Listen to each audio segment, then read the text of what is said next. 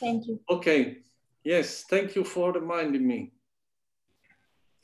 Okay. Uh, Professor, Yep. uh, mm, we have seen the case for uh, two lotteries or three lotteries, but what if if there are um, more number of lotteries, like uh, any arbitrary n number of lotteries, then uh, Then you can generalize what I've said uh, um, in a straightforward manner.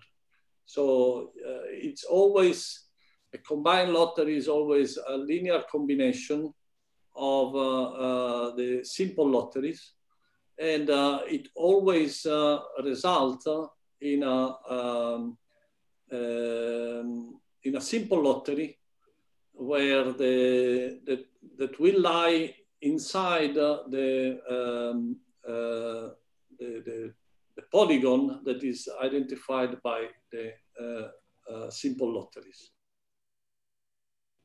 thank Okay. you. Yeah, so professor, Yeah. so um we can so we could so we could uh express the same thing by an m times n matrix, right? Uh, yes. So so the uh, yes that's The the generalization, I mean. Yes, so so the the as you have seen the there is this P and K, which uh, which is uh, which is essentially um, a matrix, and uh, and yes, so so you you can write it in the matrix form. So um, um, so And can Yes, this sort of yeah. can this sort of uh, algebra way of uh, looking at it be useful in a particular way that's that Yeah, it's essentially, this is essentially all linear algebra. Yes, yes, yes. Okay. So uh, can I go ahead? So let me look in the chat uh, if there are uh, questions. Uh, uh, where is the chat? Yeah. Okay, so would each of the combined lotteries have uh, uh, same number of outcomes in general? Yes, so uh, uh, all the lotteries uh, are defined uh, on the same space of, um, all the lotteries are defined on the same space of outcomes. It's always defined on this set C. So all the lotteries have the same outcomes. Of course, uh, some of the lot of these lotteries that I'm combining can have uh, a zero probability for some of the outcome. So uh, in general, each of the uh, uh, lotteries that I, I combine will have uh, uh, a subset of uh, possible outcome that eventually includes the, the, the full set uh, C of all outcomes. Uh, uh, so uh, do combined lotteries share uh, some properties with Dirichlet processes? Well, I think they are much simpler than uh, Dirichlet processes. Um, um, but yeah, I mean, it's, it's a very simple notion. Can LK depend on more than one probability other than alpha K? Yes, of course. Uh, say now that uh, we have uh, find out that we can uh, combine lotteries and get uh, another lottery, we can combine combined lotteries and get another lottery. So any combination of lotteries will give you a lottery.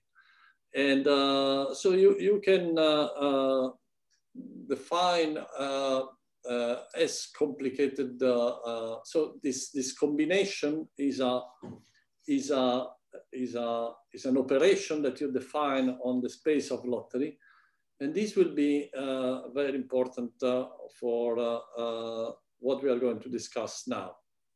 Okay, so let me resume uh, and uh, go ahead with um, defining preferences. Okay, so the way in which uh, we define uh, uh, preferences is based on axioms. Axioms are simple requirement that look like, um, say, natural requirements. So the first one is that uh, we are going to require that uh, whatever uh, preference relation we define on combined lotteries is going to be the same on the set, on the corresponding reduced lotteries so that it is enough to define uh, the preference relation on simple lotteries. So this also means that uh, um, uh, we are assuming that uh, uh, an agent uh, with these preferences will be indifferent between a combined lottery and the corresponding reduced lottery. Okay, so this is uh, looks like a, a, a very innocent uh, assumption, but actually uh, it is less innocent than, than uh, it looks, okay? But it looks like a natural uh, requirement, okay? Second thing, uh, second axiom that we are going to assume is the axiom of continuity. So continuity, I mean, the best way to give you an intuition of what continuity means uh, without entering into too much uh, uh, mathematical detail is imagine that you have three lotteries and that uh, uh, uh, lottery L1 is at least as good as L2 and at least as good as L3. Sorry, this should be in the reverse order, okay? So this lottery L1 is at least as good as L2 uh, uh, ah, no, sorry. So this is in the right order, okay? And L3 is, in, uh, is at least as good as L1, and L2 is at least as good as L3. So then there is a, so continuity means that there will be a combined lottery between L1 and L2 such that uh, uh, uh, L uh, is equivalent to L3 in the sense that uh, uh, L, um, so the, the agent with these preferences would be indifferent between L and L3, okay? So this implies that, uh, say, uh, the, this uh, set of lotteries between L and L2 are the lotteries which are at least um, sorry, between L1 and L are the set of lotteries which are at least as good as L3. And uh, those between L and L2 are those uh, uh, for which L3 is at least as good as all these, okay? And essentially these sets are closed sets, okay? So this is uh, uh, uh, continuity. Now, continuity is uh, looks like also an innocent assumption, but it has a lot of uh, very strong consequence. And one of them is that essentially, if preferences over lotteries are satisfy this axiom of continuity, then uh, you can represent uh, these uh, preferences by an utility function okay? Which means that uh, for any two lotteries, if one is at least as good as the other, then the utility of the first should be at least as large as the utility of, uh, of, of the other one. Okay, so um, so this uh, you have to think a little bit about it, but uh, it's uh, uh really uh, a, straightforward and direct consequence uh, of the axiom of continuity. So the uh, third uh, axiom that we are going to uh, uh impose is uh, uh, the independence axiom. And this also looks like a reasonable uh, assumption, uh, assumption to make. So uh, we say that a preference relation over lottery satisfies the independent axiom if however you define these three lotteries, if uh, lottery L1 is at least as good as L2, then when you combine lottery L1 with L3, the combination will be at least as good as the same combination with the same weight when you take lottery L2. Okay? So, uh, and uh, this should be true for any uh, alpha that you choose between uh, zero and one. Now, this is uh, really very strong consequences. and as a matter of fact, if you, if you take these three axioms, then what the, the consequence of this is that the preference relation must be uh, must have a representation in terms of a utility function that has the expected utility form. So this means uh, that there must be numbers uh, un such that uh, the expected value of every lottery is just uh, the expected value of this uh, u under the probability of the lottery. And what is this u? Uh, well, this U is, uh, uh, is essentially the utility of a lottery that gives you outcome n with probability one, okay? So why is this so? Well, this is so because uh, the independence axiom essentially tells you uh, that uh, this lottery, so if you prefer lottery L1 to L2, then you should prefer this lottery here which is the uh, combination of L1 with L3, to this lottery here, which is the combination of L2 with L3, okay? And uh, now the same notion can also be uh, extended to indifference. So if you are indifference between L1 and L2, then you should be indifferent between these two combined lotteries, okay? And so what this tells you is that uh, um, uh, what this tells you is that uh, the indifference lines, the lines uh, over which you are uh, uh, indifferent between lotteries, should be straight line and should all be parallel straight lines. Okay? And this is precisely the type of indifference curves that you have uh, with unexpected utility because uh, just simply because it is uh, linear, okay? So, um, so it is clear that uh, unexpected utility uh, will have indifference curves uh, that are parallel straight lines, but the converse is also true. I mean, if you, if you have a preference relation over lotteries that satisfies the independence axiom, then the uh, uh, indifference curves must be straight line, parallel straight line, which means that there must be a utility function that corresponds, that represents this uh, uh, preference relation.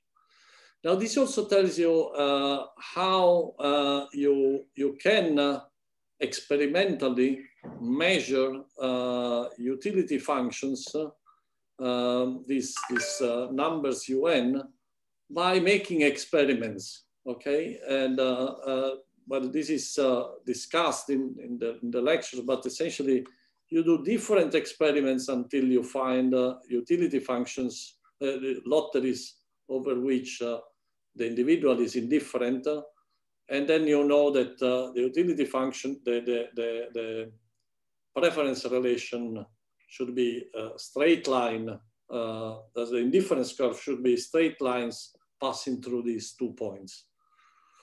And um, okay, so uh, it's again a good time to uh, stop for uh, questions. And um, so is everything uh, clear? So could you show uh, like two slides, I mean, slides again. Yes, I can show again the slides.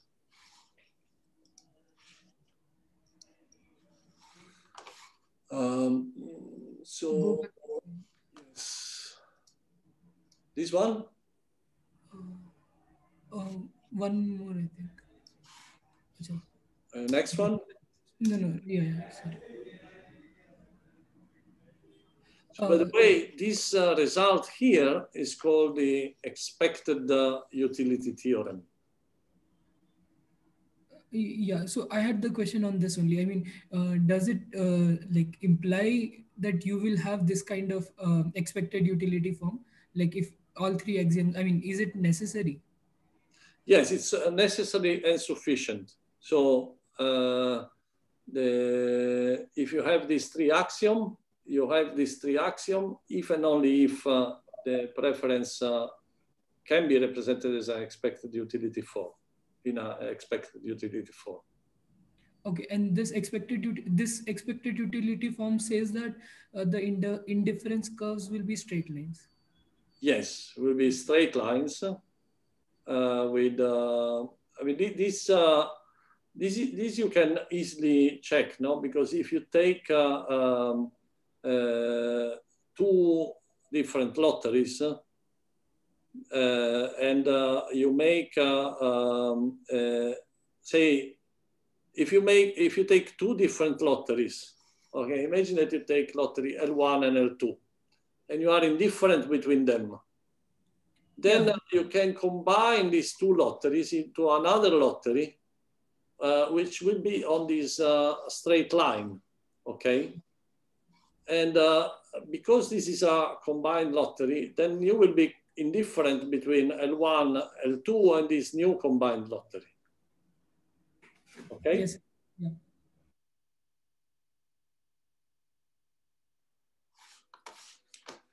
So other questions?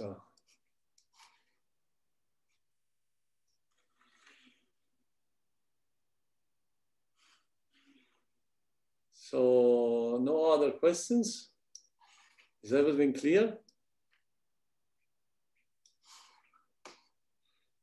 Okay, so this is uh, uh, a very important uh, result. So okay, so let's uh, let's go ahead. Okay, so now the question is, uh, um, does uh, this expected utility really describes how real people behave?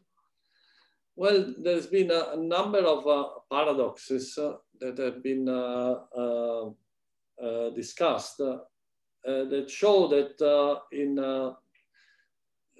particular situations, people do not really behave in the way that the expected utility would recommend.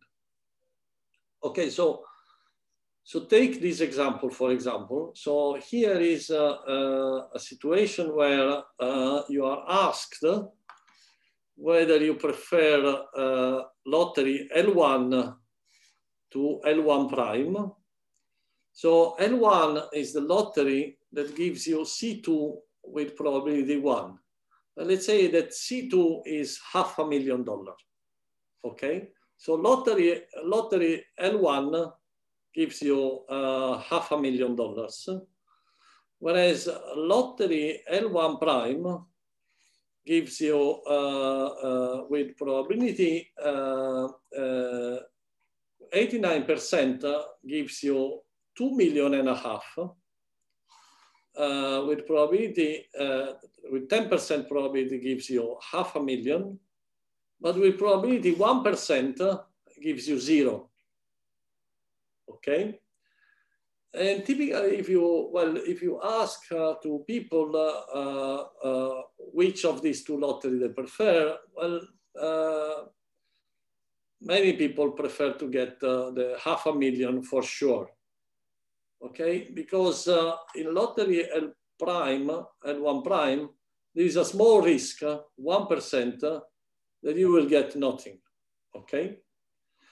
Now, think about uh, a second question uh, uh, where essentially you are asked uh, whether uh, uh, you want prefer you prefer lottery L2, which gives you zero probability of C1 with probability 11% to get half a million and 89% to get zero. And then uh, to uh, see whether this is preferred to lottery L2 prime, where instead you get uh, with probability, uh, with 10% probability, you get uh, uh, two and a half millions. And with probability 90%, you get zero, okay? now, typically, what say what people uh, would choose between these two lotteries uh, is probably lottery L2 prime because, uh, well, because you have a 10% probability of winning two and a half millions um, as compared to 11% probability of winning uh, uh, just half a million, okay? However, uh, this behavior here is inconsistent uh, with this behavior here according to the expected utility. And why? Because essentially, uh, if, uh, if you prefer lottery L1 to L1 prime, then you should prefer L2 to L2 prime. And why is this so? because if you do the math, you figure out that uh, uh, the points, the, the, the, lines that join these two uh, curve, uh, these two lotteries, L1 and L1 prime, and L2 and L2 prime, they are parallel lines, okay? So whatever is uh, the expected utility that you are using, the indifference curves will always be parallel straight lines, okay? So however you draw these parallel straight lines, then uh, you should always have a preference relation where uh, if L1 is preferred to L1 prime, then L2 should be preferred to L2 prime, okay? I hope this is, uh, uh, uh, this is clear. If you want, I can just try to make um, so if your indifference curve, for example, uh, is in this direction, there are parallel lines in these directions, then, uh, uh, and they increase, uh, say, uh, downward, then it is clear that uh, if you prefer L1 to L1 prime, then you should also prefer, should prefer L2 to L2 prime. This is because this, the utility, and no matter uh, how you uh, change your utility, how you change these, uh, uh the, the straight lines, whatever the straight lines are, you will always either choose uh, uh, L1 and L2 or L1 prime and L2 prime, okay? So this is uh, just one of uh, the uh, paradoxes of um, say, uh, choice under uncertainty. There are other paradoxes uh, uh, that also tells you that um,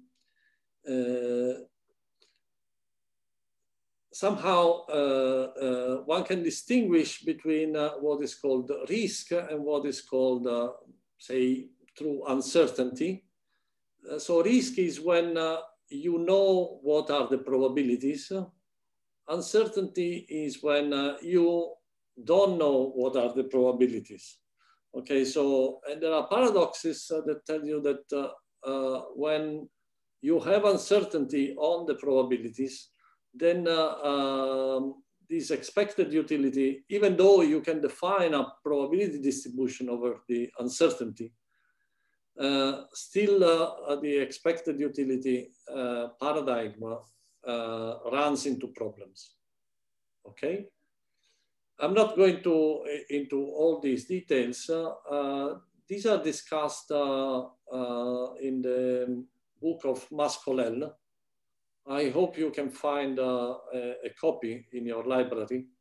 This is, uh, is given in the reference in the website. Uh, but if you look at chapter six in Mas-Colell, uh, all these questions are discussed. So questions? So in the previous slide,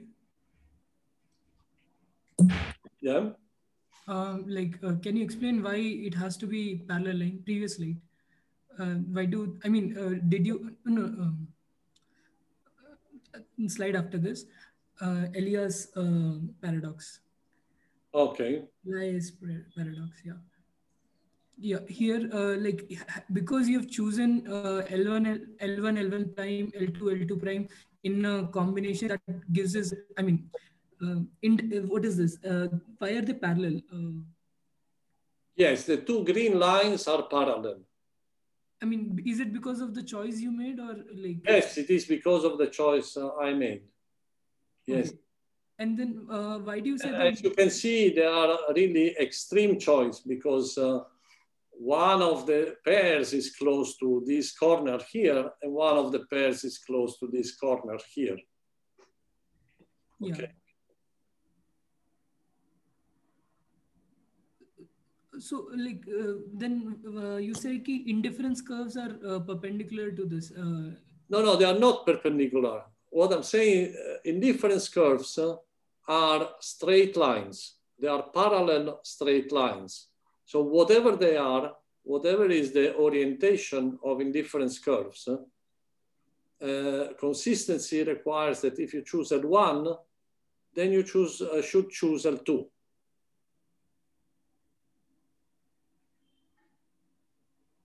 Uh, excuse me.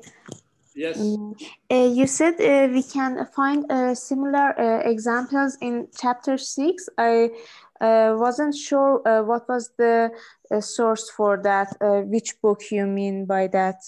It's the book of uh, Whinston, uh, and uh, and a third author, which is uh, mentioned uh, in the um, uh, website. Yes, thank you. Excuse me, Professor. Yes. So for each parallel line, we have uh, a sort of orientation, and if we go in that direction, uh, the utility increases.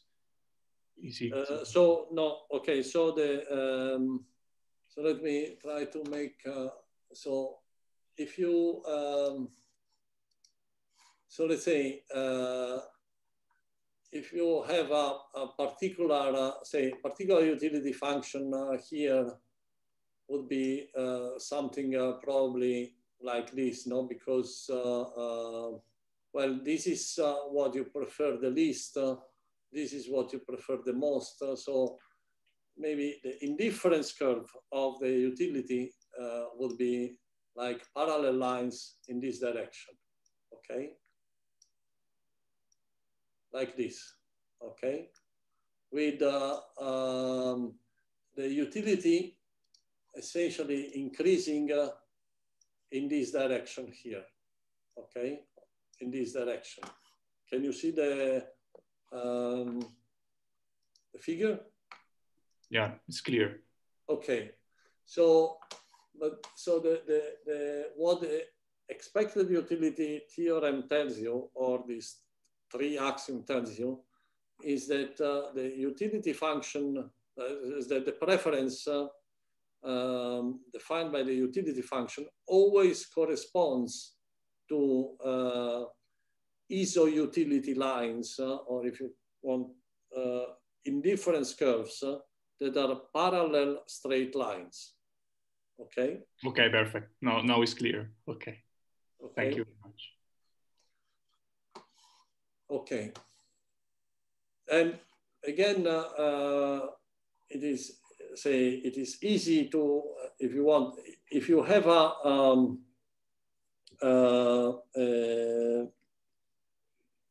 say uh, an individual that uh, is uh, um, making choice uh, over lotteries with unexpected utility, it is easy to uh, figure out what these two, what these lines are essentially, because essentially you just need to find two lotteries over which uh, the individual is indifferent, uh, and then you have to find in which direction, in which perpendicular direction the utility increases, okay?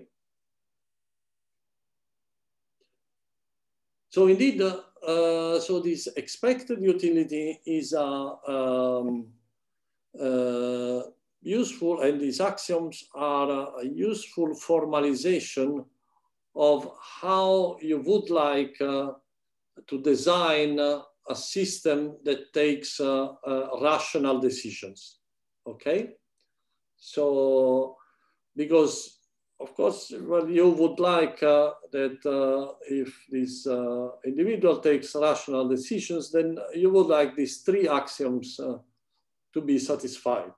Okay, you, you would not like, uh, say, for example, that your preference relation has discontinuities in the sense that uh, you say prefer something to something else, but then if you make something, one of the option a little bit more risky, then uh, uh, your preference changes completely, okay? And so you want continuity, you want uh, this uh, independence uh, uh, axiom, and also you want that, say, combined lotteries have a preference relation which is defined through the preference relation of simple lotteries. Okay. Okay, so uh, if there are no other questions, then uh, let me proceed. So, um, okay, so the last thing uh, I want to discuss today is uh, uh, how do you define uh, risk? Okay. Sorry, sir. Yeah. Is the conclusion of the last paradox? I mean, is there any conclusion? I mean, any conclusion for the last paradox you the paradox you mentioned yeah so the the, the, the, the conclusion is that uh, if you want uh, uh, to design a system that takes decision over uncertain outcomes uh, in a rational manner, then the expected utility is the way to go. But that uh, uh, real uh, people that we have, uh, I mean, uh, it may not, the expected utility may not be a good model for how real people behave because there are some special circumstances where you can show that uh, it does not give uh, uh, reasonable outcomes, okay, like the Allais paradox. Is this clear? Uh, but uh, like the Allais, Allais paradox came because we to choose the individual to be rational, right? It's not because the individual is real. Yes, yes. So the, the Allais paradox uh, tells you that the, the way in which a rational uh, agent uh, would make decision in that situation is uh, uh, seems paradoxical from our psychological point of view.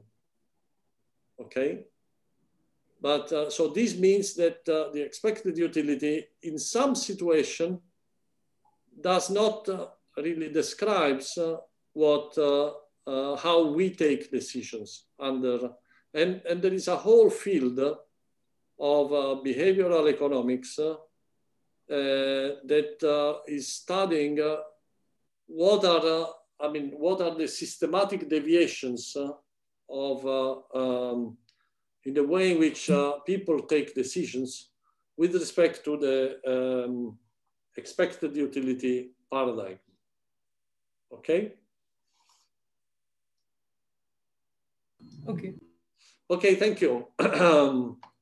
so, okay, so uh, let's uh, discuss risk and in particular uh, risk aversion. So now one important point uh, is uh, that uh, when, when we discussed preferences over simple outcomes without risk, what we said is that you can represent preferences with an utility function but essentially that uh, uh, any uh, monotonic transformation of the utility function would correspond to the same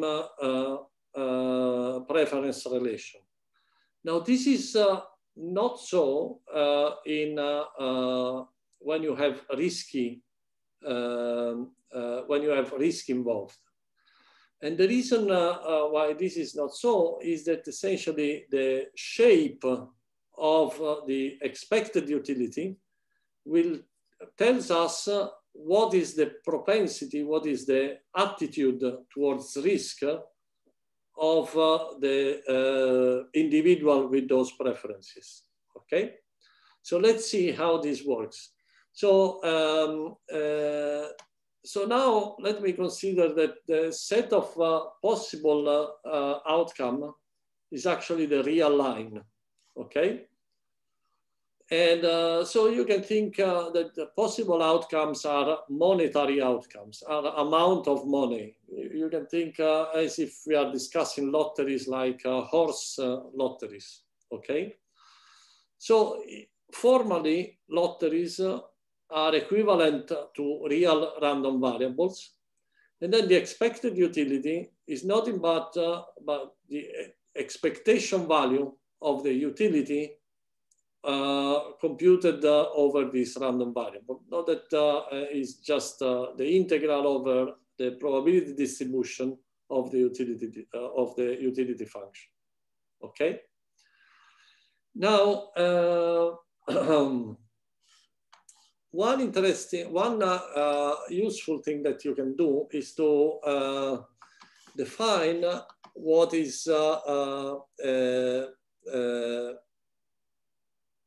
a lottery uh, that is a sure lottery that gives you with probability one this uh, the uh, expected value of uh, the utility function. Okay, so let me uh, uh, put it more clearly. So this L bar is a lottery such that the utility of this lottery is equal to the expected value of uh, uh, the utility of the, lot, the true lottery, okay? So you can, for every lottery, you can uh, um, define this lottery L bar, which is essentially the uh, uh, equivalent uh, certain lottery, okay? So now if this lottery L bar is preferred to the lottery L, then you say uh, that the individual is risk averse. Why is this? Because uh, essentially this lottery L bar is a lottery that does not involve risk. You just get uh, uh L bar with probability one. Instead, the lottery L gives you uh, as an outcome uh, a random variable X that can take different values with different probabilities, okay? So the difference between these two lotteries is that uh, essentially the lottery L involves risk and the lottery L bar does not involve risk. Okay, so if you prefer the lottery that does not involve risk, then uh, uh, you are risk averse. Okay, and uh, if instead you prefer the risky lottery, the, the random lottery to the lottery L bar, then uh, you are called uh, risk lover, okay? Now, it is easy to see that, uh, and this is essentially a consequence of Jensen's inequality, that risk aversion uh, occurs if and only if uh, uh, the u of x is concave, like in this in this plot here. Okay, whereas your risk lover only uh, if and only if uh, the u of x uh, is uh, convex, so it has a upward uh, curvature. Okay, so let's see this uh, a little bit more in detail. So one way to see this is imagine that we have a lottery that can give only outcome x1 or x2 with probability say one half.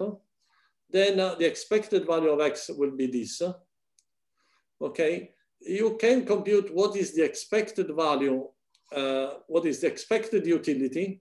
So the expected utility uh, is uh, the uh, average of uh, these two points here, okay, with probability one half. So with probability one half, you have this point, which is u of x1. With probability one half, you have this point, which is u of x2. And you end up with this point, which is uh, the expected utility, okay? Now, this uh, is clearly less uh, than the utility of the expected value of x, uh, which correspond to this point here, okay? If this is the expected value of x, then this corresponds to this point, okay? So you see that in this case, and this uh, would be the utility of the lottery L bar, okay? Because the L bar gives you as an outcome the expected value of X with probability one, okay? So this is the case of a risk-averse uh, individual because uh, the difference uh, between uh, uh, the, the utility of the uh, lottery L bar and the expected utility of the lottery L is positive, okay? And you call this difference the risk premium. So how much, um, uh, so you call, say this, uh, uh, you call this, uh, yes, this, this difference uh, essentially is the, is the risk premium, okay? And um, uh, also you can introduce what is called the certainty equivalent. sorry, uh, yeah, so, so you can introduce what is called the certainty equivalent, the C of L, and this is the value of X such that uh, the utility of this value of X is equal to the expected value of U. And if you go to this uh, graph, then you have to take this value of the expected value of U and uh, you compute uh, this uh, value of C of L, okay? So you see that when uh, you are risk averse, this uh, uh, certainty equivalent is less than the expected value of x. So this difference is what you are uh, willing to pay in order to get rid of the risk, okay? And uh, yes, this is called the risk premium, okay? This uh, the expected value of x minus uh, c of l. And uh, uh, so, of course, uh, if you have instead a utility function that has the opposite the opposite curvature that it goes like this, then then all these relations are inverse in the sense that uh, the risk premium becomes uh, negative in the sense that you are willing to pay in order to um, uh, play this lottery. And uh, if your utility function instead uh, is just a straight line, then uh, the risk premium is exactly equal to zero. And, and, and this is when these utility functions are called risk neutral, okay? Okay, I see there are a few questions on, on the chat. So uh, let's, okay.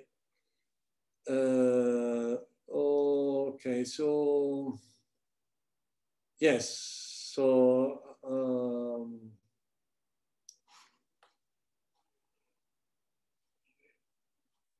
uh, well, okay, lottery designers, uh, designers should design lotteries using expected utilities. Well, um, um, say uh, the well, this is say a rational way of uh, designing lotteries, and uh, the other say uh, when you think really think about lotteries, uh, there are also other uh, um, considerations that uh, because essentially here we are considering lotteries uh,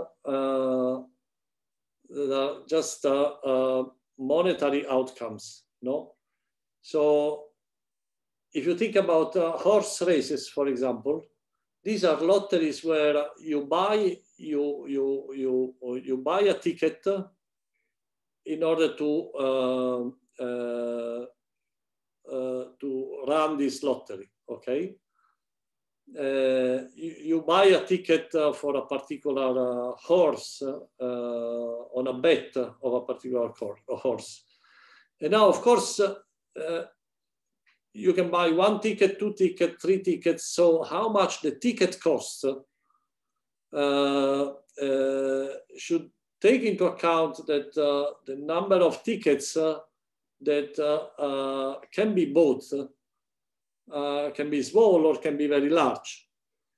And uh, so this is a slightly more complicated uh, problem and it's very similar to the problem uh, in finance. In finance, uh, what people have to do is to uh, decide what is the right price of an asset that can be, for example, an insurance contract but once you publish this price, uh, then uh, uh, people can buy as much as they want of this asset, okay? So the, the way in which uh, we will discuss uh, at the end of the course how you fix prices in that case. But more or less, uh, um, the I mean the, the, same type of concept entered in play.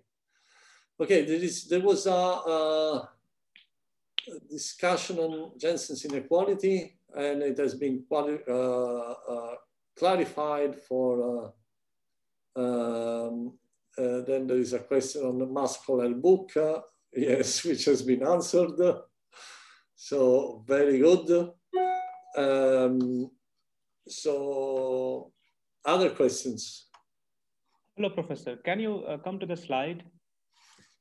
Yes, and then, uh, yes. Uh, one more back. Uh, yeah, this fourth point, what does it like, what is saying? Like, what is physical? Fourth one, yeah. L bar lottery. This one. So essentially this lottery L1, L bar uh -huh. is the lottery uh, uh, such that uh, the utility of this lottery is equal to the expected value of U of L. So it's a lottery. Yes, it's, it's, it's a lottery that gives uh, this outcome with probability one. Like sure success kind of thing or like what? Sorry? Like with probability one means what? Like uh, means it is sure event kind of, right? If you do this lottery, yes. this event is sure. It's sure, yes. It's not a random lottery. It's, it's a, it's a just a lottery that gives you something with probability one. Okay, okay. Okay. okay. Is, is L bar like a delta function that speak that? Yeah, you can think of it as a, as a lottery that uh, has a probability distribution, which is a delta function. Mm-hmm. Okay, thank you, Professor. Yes.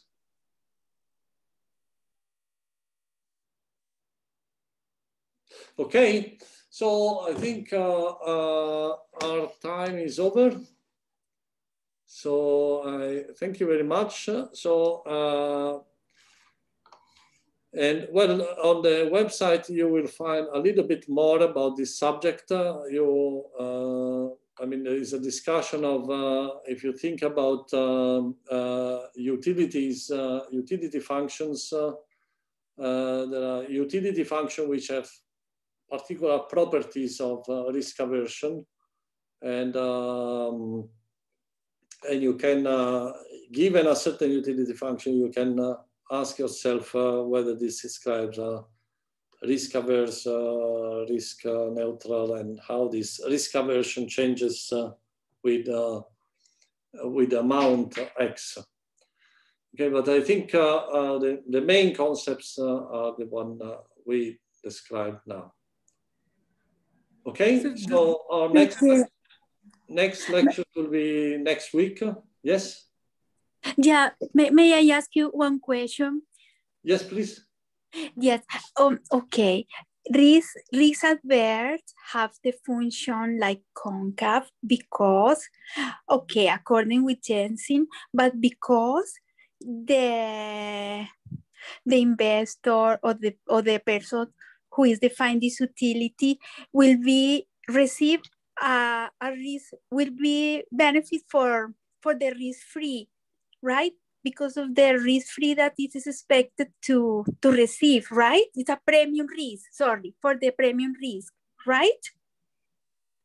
Uh, Because this is risk adverse, and it will be probably lose or probably get with uncertainty. We and this Yes, is a very high risk, risk right?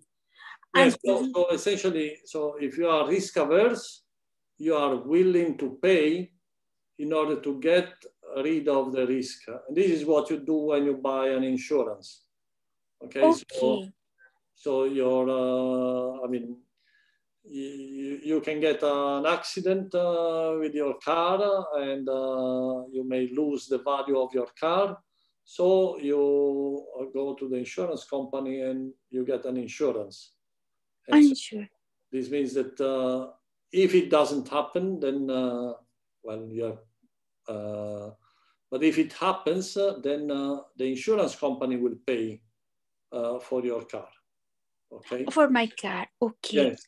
But say, and, and so you are choosing uh, to pay something which is not random, which is sure, which is the insurance premium, to Mhm. cover you about uh, uh, a, a, lottery, in this case, a lottery which can have uh, uh, negative outcomes for you. Negative um, out, outcomes for Yes. me. Okay.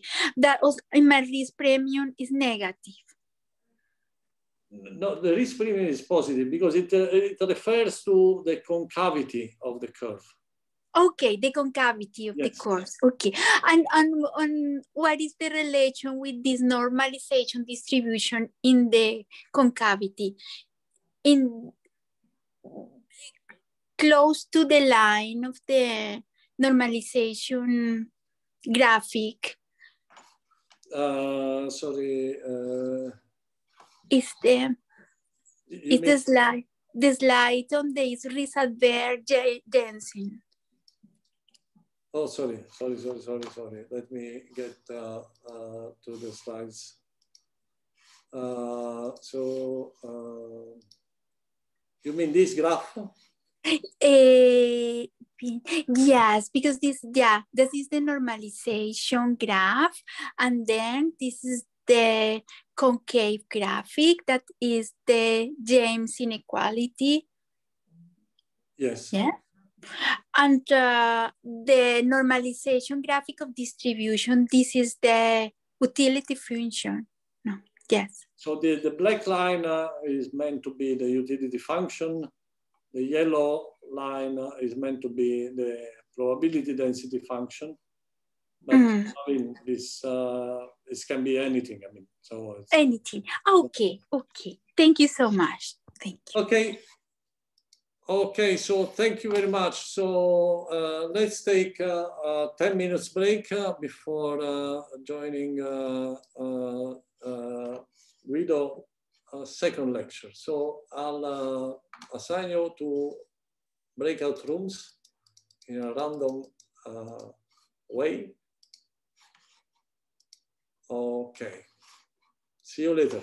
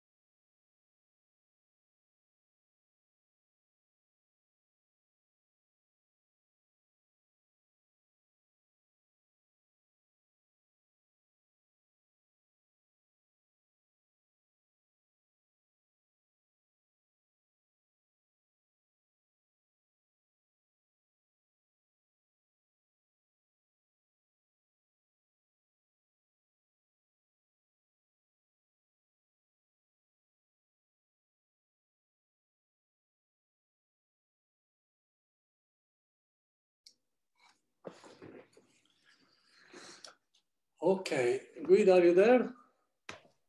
Presente. Ah, very good. So people are joining back. Uh,